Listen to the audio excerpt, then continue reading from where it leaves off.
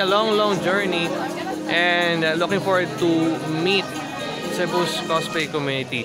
Maayong aga sa inyong tanan. Jay Agoni with Keepsakes right here at Totako Fest 2019 at SM Seaside City Cebu. Merchandise booths, artist booths. Minsan lang po sa isang pagkakataon na magkaroon ng dalawang araw ng Otaku Fest. Grabe, marami mga 9 years day sa Cebu. I press F!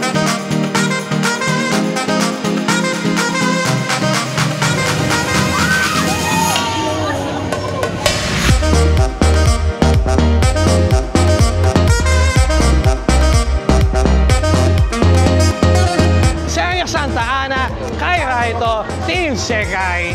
Pastel Mix, ladies and gentlemen, say hi. Ayan.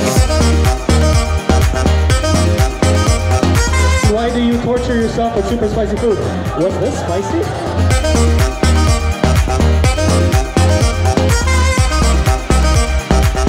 Stand by.